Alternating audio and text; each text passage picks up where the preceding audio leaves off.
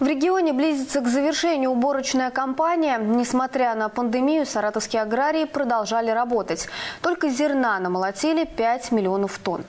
Подробнее об уборочной кампании поговорим с министром сельского хозяйства области Романом Ковальским. Роман Станиславович, здравствуйте. Добрый день. Роман Станиславович, итак, близится к завершению уборочная кампания. Расскажите о цифрах подробнее и сколько еще осталось работы у аграриев. Ну, вы абсолютно правы. Близится к завершению уже уборочной кампании 2020 года. На данный момент, вот несмотря на такие непростые э, погодные условия, которые сложились в этом году у нас, в июне месяце мы наблюдали опасные агрометеорологические явления, такие как град, ливни. И уже в июле месяце сменилось это все у нас на почвенную и атмосферную засуху, что действительно не могло не сказаться на урожайности сельхозкультур. Но, тем не менее, вот благодаря профессионализму наших аграриев, применению современных технологий. Э, мы достигли высоких результатов. Э, как вы отметили, валовый сбор зерновых, зернобовых культур на данный момент мы уже перевалили за 5 миллионов тонн. И видим перед собой горизонт, это где-то порядка 5 миллионов 200, 5 миллионов 300. То есть это действительно это серьезный урожай. Вот. На данный момент э, уборка близится к концу по зерновым. Убрано 95% посевных площадей. Сейчас, в частности, ведется уборка поздних культур, таких как кукуруза, уже убрана площади 30 процент, на 30% площади убрано у нас на сегодняшний день. Урожайность по кукурузе составляет порядка 48 центнеров с гектара. И поэтому, я думаю, те горизонты, которые мы для себя запланировали, мы на них выйдем. Также, помимо зерновых, у нас продолжается уборка технических культур. Основной культура, конечно, это наш подсолнечник. Э, сахарная свекла ведется уборка. Подсолнечка уже мы тоже перевалили за 1 миллион тонн. И планируем выйти где-то порядка миллион шестьсот пятьдесят, миллион семьсот тысяч тонн, вот то, что мы рассчитываем. Поэтому можно отметить, что в целом для аграрной отрасли региона год, несмотря на все эти сложности, явился благоприятным. Мы получили достойный результат. Мы видим, что складываются цены на сельхозпродукцию э, на уровне, позволяющем вести расширенность производства. Мы видим, что наши аграрии активно э, применяют современные технологии, увеличились эм, посевные площади с применением удобрений. То есть э, за последние два года у нас объем применения минеральных удобрений э, составлял более 110 тысяч тонн. Если в сравнении такого не было за 20-летие, за последние.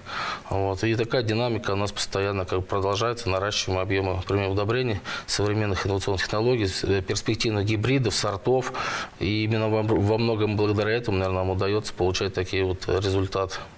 А скажите, повлияла ли пандемия на работу аграриев? Знаете, пандемия, наверное, повлияла в целом на всю экономику страны, но ни одно предприятие не прекратило свою работу. Безусловно, сказались, есть заболевшие сотрудники в промышленном комплексе, но применяются все меры а, защиты и организована термометрия, а, обеспечены сотрудники средствами индивидуальной защиты, действительно ведется профилактическая работа, все те требования и инструкции, которые доводит Роспотребнадзор, мы доводим до наших сельхозтоваропроизводителей. Ну, действительно, а, пандемия не могла не сказаться на отрасли, а, хотя остановки производства не произошло, ну, по ряду направлений э, на рынках э, сельхозпродукции наблюдались определенного рода колебания. Поэтому тоже со счетов это снимать нельзя. Скажите, пожалуйста, на каком месте наша область по урожайности в этом году и назовите районные лидеры? Вот знаете, на данный момент времени мы находимся на втором месте в Приволжском федеральном округе по валовому сбору зерновых зернобобовых культур. Но еще уборка в процессе.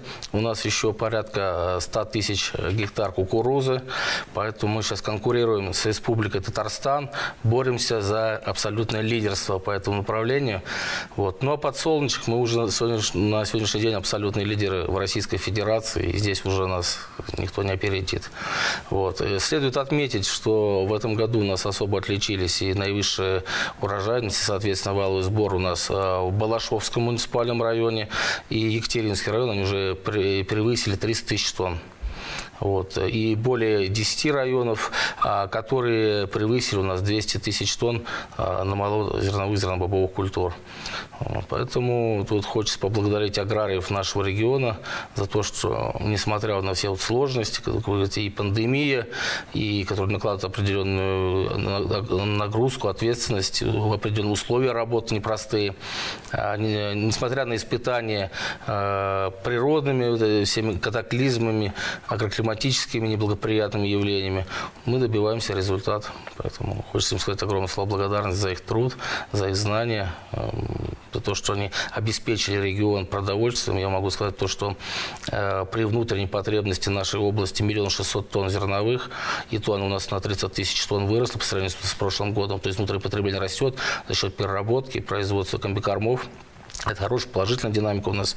А, по маслосеменам подсолнечка, если мы произведем миллион семьсот, э, то внутренняя потребность, чтобы загрузить наш производство мощности масложировой отрасли, а, миллион триста тысяч тонн. Поэтому мы полностью покрываем внутренние потребности, а то, что мы сверх э, поставляем за пределы нашего региона, и основной акцент все-таки мы делаем именно на наращивание экспортно. И в этой связи мы уже на протяжении несколько лет занимаемся развитием именно инфраструктуры экспортопроводящей.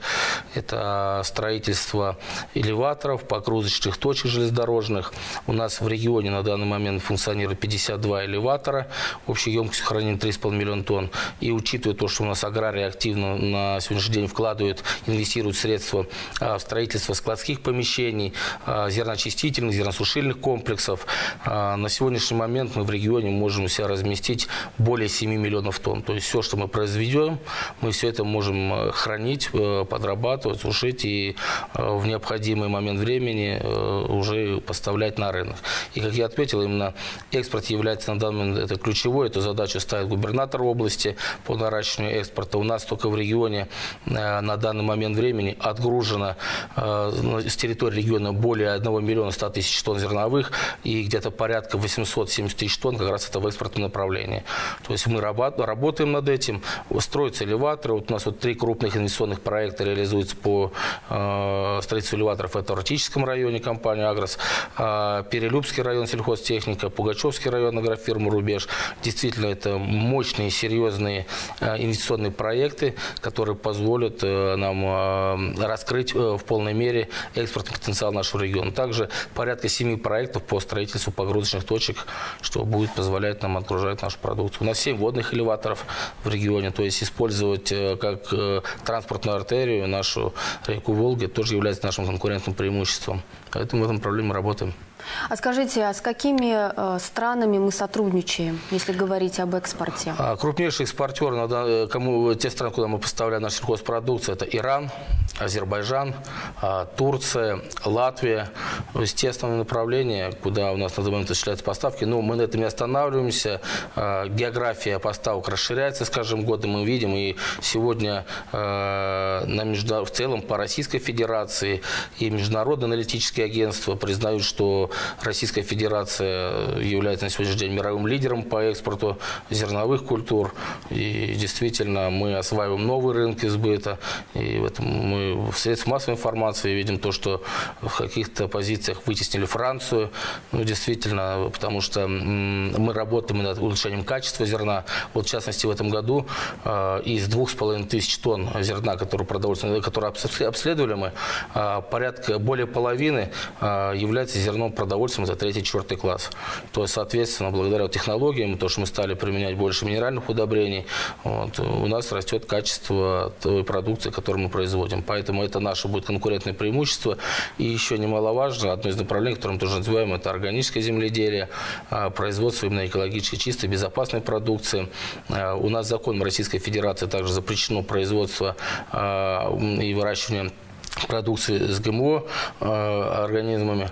Вот. Соответственно, это тоже существенное наше преимущество на мировом рынке. Скажите, пожалуйста, вот в последние годы большое внимание уделяется развитию мелиоративной отрасли в регионах. И в Москве прошел Всероссийский водный конгресс. Вы приняли в нем участие. Вот расскажите, как у нас в регионе обстоят с этим дела?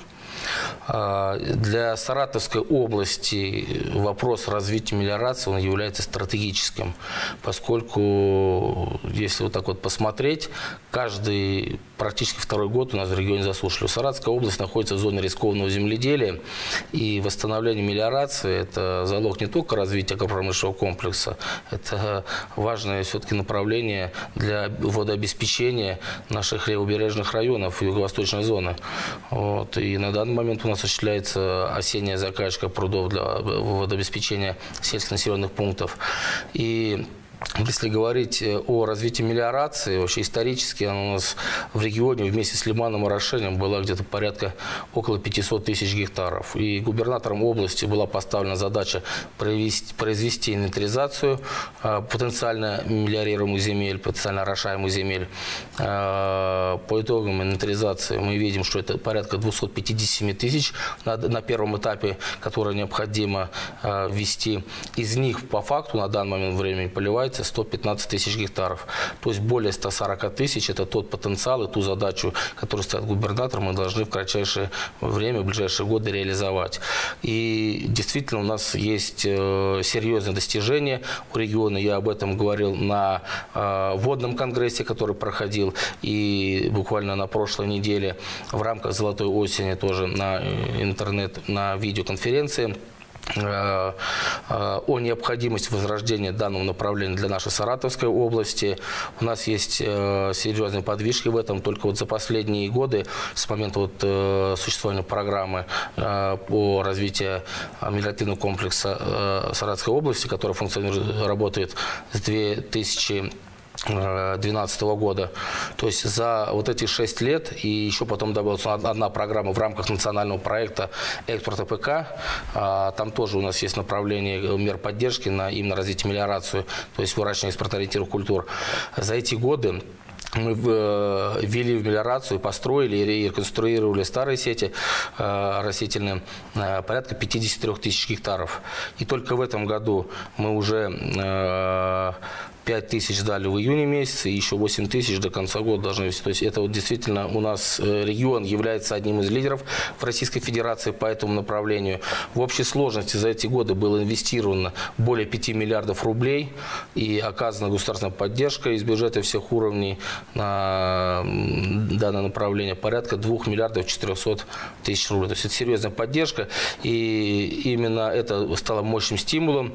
Я об этом говорил как раз именно на водном конгрессе, что необходимо э, сохранить данные меры поддержки, э, по возможности увеличивать финансирование данных направлений, поскольку действительно для нашей зоны рискованного земледелия это не только Э, производства экспортно-ориентированной продукции, такие как сой, кукуруза, которые, кстати, благодаря э, то, что мы начали развивать мелиорацию, за последние годы у нас площади под этими культурами кратно выросли.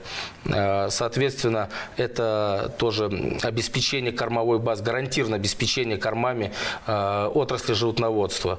Мы видим то, что в регионе реализуется ряд проектов именно в молочном скотоводстве, и ключевым здесь именно является гарантированное обеспечение кормов, что в этом году некоторые у нас аграрии на себе ощутили, действительно проблема была, и особенно актуально она была э, в, в районах юго-восточной зоны, в Александрово-Гайском, Новоузенском районе, где э, по распоряжению губернатора была оказана государственная поддержка Александро-Гайскому району сельхозтоваропроизводителям на приобретение кормов, чтобы сохранить поголовье. Действительно, ситуация непростая, не поэтому нам необходимо возрождать мелиорацию, э, возрождать лиман на орошение. Вот. Я думаю, эти направления мы в ближайшие годы будем делать на них акцент. И вообще планируется визит э, заместителя министра э, сельского хозяйства Российской Федерации Гатаговой Ольги Анатольевны э, на, к нам в Саратовский регион. Хочет ознакомиться с теми э, результатами, которые мы достигли, наши аграрии, э, осмотреть мелиоративный комплекс. Действительно важно развивать не только внутрихозяйственные мелиоративные сети, а необходимо развивать именно государственную растительную систему. Э, только в этом году более 700 миллионов на это направление было выделено. И очень важно то, что оказана государственная поддержка будет на 2021-2023 год. Это реконструкция комсомольской растительной системы, которая нам позволит дополнительно ввести более 30 тысяч гектаров еще миллиардов земель. И также мы планируем показать наш э, институт гидротехники и мелиорации, который располагается в Энгельсе. Действительно, мы разрабатываем свои отечественные э, мелиоративные машины. Действительно, вот эм, развитие мелиорации дало толчок еще и отрасли сельхозмашиностроения. Мы только у нас в регионе разрабатываются, прошли испытания, и некоторые уже э, вышли в серийное производство, такие мелиоративные машины, как «Каскад», «Бамбук», «Волга СМ». Это действительно мощный стимул стимул не только для нашей аграрной отрасли, но и для сельхозмашиностроения. Это важно. Должна наша экономика работать, потому что в основном, конечно, в последние годы мы приобретали импортные растительные машины. Но я думаю, те машины, которые сегодня построены, они конкурентны и по цене, и по своим техническим характеристикам. Я думаю, у них большое будущее. И еще учитывая то, что с 2023 года государственная поддержка будет направляться только там, где применяются отечественные мелиоративные машины. Поэтому, еще раз повторюсь, для нашего региона это один из приоритетов проектов. Мы будем поддерживать данное направление и ну, вызывает большое удовлетворение, что у нас на будущий год уже подан заявок более чем на 5 тысяч э, гектаров. Поэтому я думаю, это даст действительно и возможность увеличить посевные площади экспортно-ориентированных культур, о которых я говорил, сой, кукуруза, рапс. Э, поэтому э, обеспечит кормовую базу для наших инвестиционных проектов в отрасли животноводства. Ну и, это, безусловно, тут еще мелиорация. Современное интенсивное садоводство тоже немыслимо без э, орошения, без капельного. Это тоже относится к мелиорации. Вот. Овощеводство. Мы сегодня являемся лидерами в Приволжском федеральном округе по производству овощей, и в частности овощей открытого грунта. Это тоже стало во многом а, возможно благодаря а, строительству мелиоративных систем, а, орошения на участках овощеводства открытого грунта. Поэтому это направление для нас важно, мы будем его развивать, и я думаю, та динамика, которая есть, мы только будем сохранять. Давайте подведем небольшой итог. Скажите, довольны ли вы уборочной компанией этого года? Ну, знаете, как сказать, э, никогда не надо останавливаться перед достигнутым. А мы ставим перед собой более высокие амбициозные цели, задачи. А, во многом, конечно, тоже э, влияет и погодные условия, но, тем не менее, еще раз повторюсь, э, вот именно за счет того, что сегодня наш аграрный агропромышленный комплекс вышел на качественно новый уровень, поскольку инновационный подход, научный подход к ведению бизнеса, применение современных технологий, применение удобрений, опять же, развитие мелиорации, которая уже э, засуха не так влияет. Именно вот эти, эти подходы, э, кадровый потенциал, э, создание э, комфортных условий существования на селе, вот все это в комплексе позволит нам выходить на новые рубежи и выполнять э, те задачи, те задачи, которые ставит нам губернатор области, которые ставит президент. Это по увеличению экспорта, по, по э, росту уровня доходности аграрной э, сферы, по росту уровня заработной платы, налоговых отчислений от аграрных На эти задачи мы будем и так поэтапно выходить. Спасибо большое, Роман Станиславович, за то, что пришли к нам в студию и так подробно отвечали на вопросы. Напомню, что с министром сельского хозяйства области мы говорили о завершении уборочной кампании в регионе.